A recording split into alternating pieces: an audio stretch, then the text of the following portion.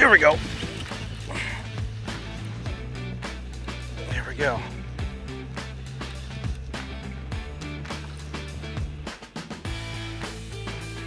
That's a good fish. Well, okay, you can net him. go.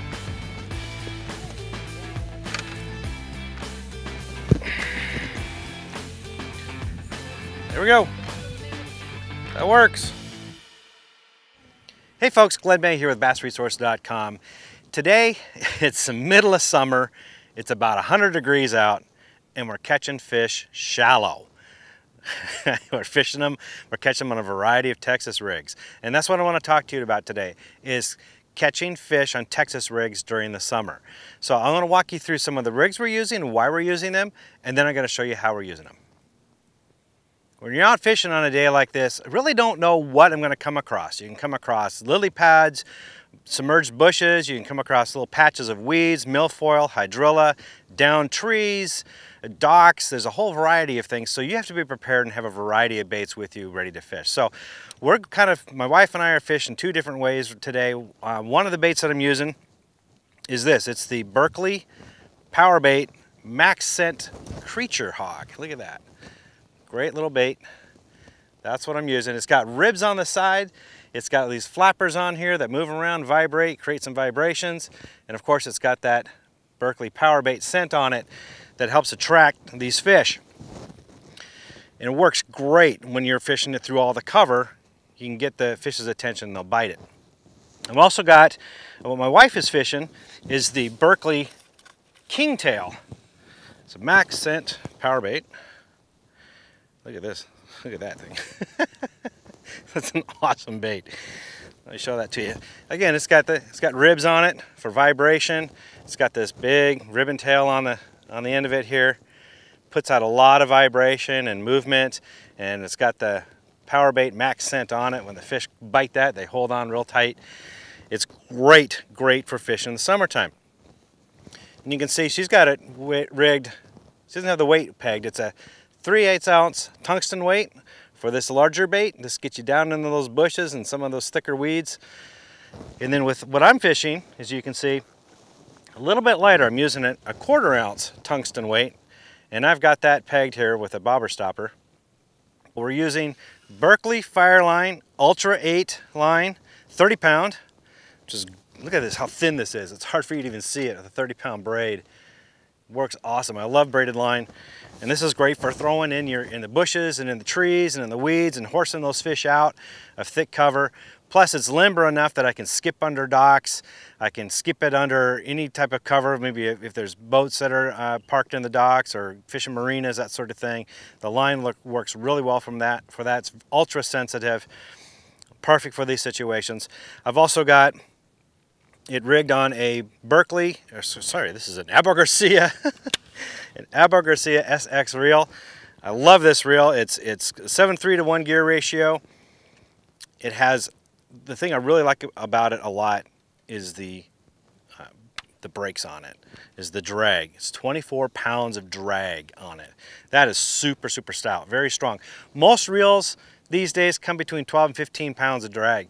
24 pounds of drag on this puppy. So when you've got a fish buried up in the weeds or buried up in that bush, uh, brush pile, you can yard them out really well.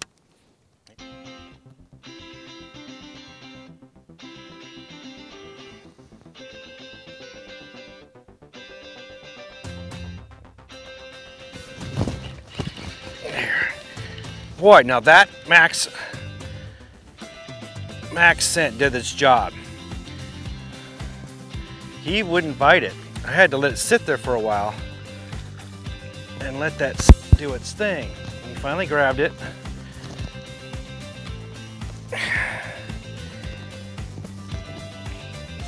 He kept playing with it and playing with it and playing with it until finally he said, yeah, that smells good. I think I'll eat that. Look at that. Good job. Yeah, Look at little Billy, he's, he's, he's been eating. So let's talk a little bit about where to find the fish and how to catch them.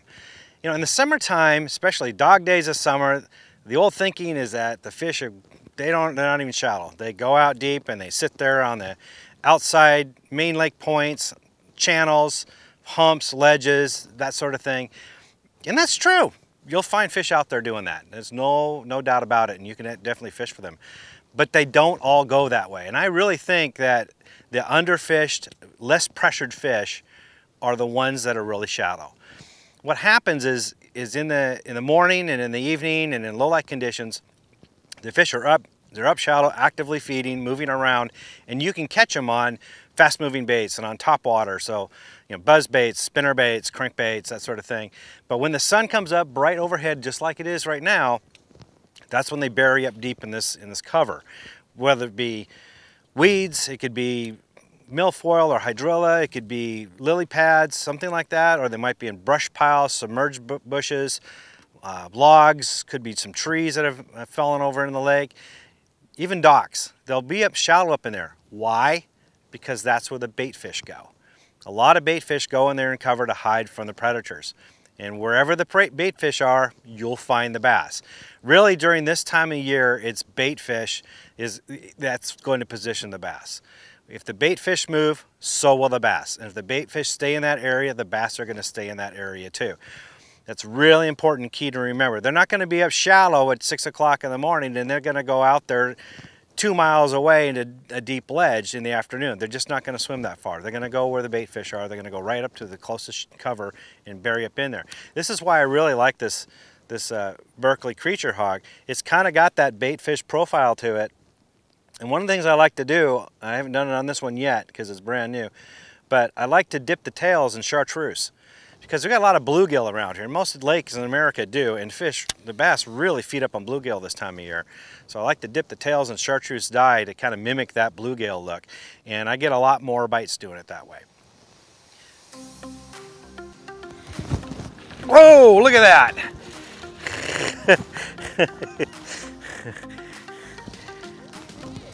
okay, buddy, I gotcha. You're not to believe this at all.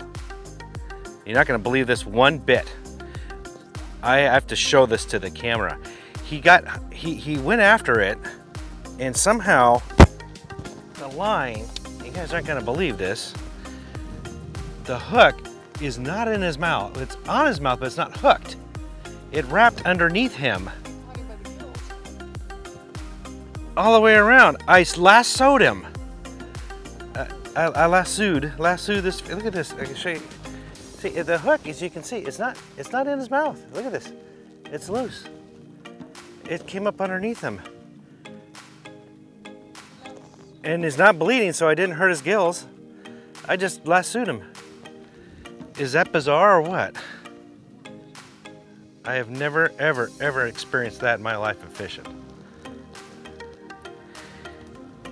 And he took my creature bait.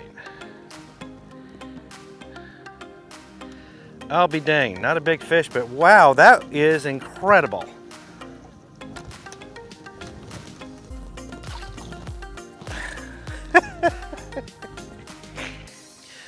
so what are you going to do? You get to, you're fishing all these different types of cover. How do you fish it, really? What I like to do is when I get up into this, especially submerged bushes, and brush piles is I'll throw up into it, but then I like to work the bait through really slowly, kind of crawl my way through it. Just throw it up there, let the bait fall straight down, keep in contact with it, and then reel up on it, and you've just got your line just nice and tight so you've got a feel for it but don't pop it up or drag it or do a whole lot of quick movements the fish are a little slow a little lethargic this time of year so you got to get it right in their face and kind of uh, entice them to bite it. Sometimes what I'll do is if I get it on a limb or something on a branch, I'll just sit there and jig it. Just, just jig that bait, just pop it just like that. Just lift it up a little bit, jig it, and then drop it back down and let it sit for a little bit. Then lift it back up and jig it and pop it. Just shake it and let it fall right back down just to get their attention. That's all you need to do. Then drag it up over that branch and let it flop back down. Slowly crawl it through the next little piece and just work your way through it. One thing to pay real close attention to is the position of the fish. This sun, yeah, sure, it sticks them in the weeds, puts them under the docks, but really the way you got to think about it is not so much where the sun is, but where is the shade.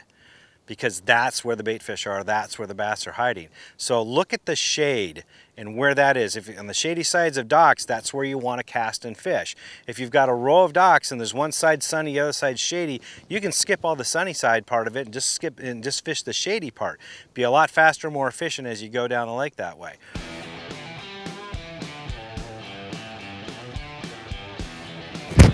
Here we go.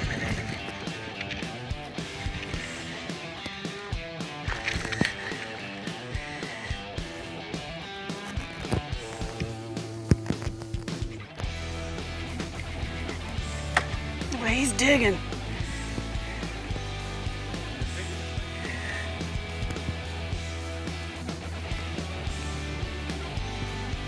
Come on, baby. Where are you? Here can I? Here he is. Here we go. Ooh.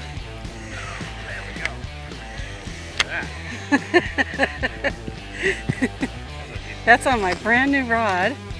Fishing the first time with Fireline with the brand new Revo.